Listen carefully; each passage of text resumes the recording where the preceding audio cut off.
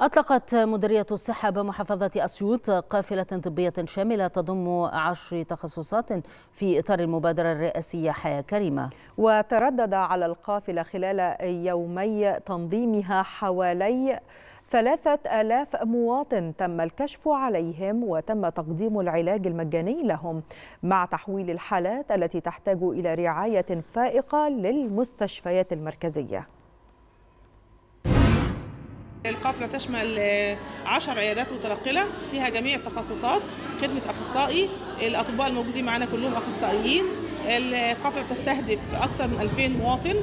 إحنا هنا بنقدم خدمة الصيدلية العلاج كله بالمجاني المريض مش بيدفع أي حاجة خالص. عندنا فوق ال 120 صنف الأدوية متعددة وبتغطي جميع التخصصات اللي موجودة في في القافلة.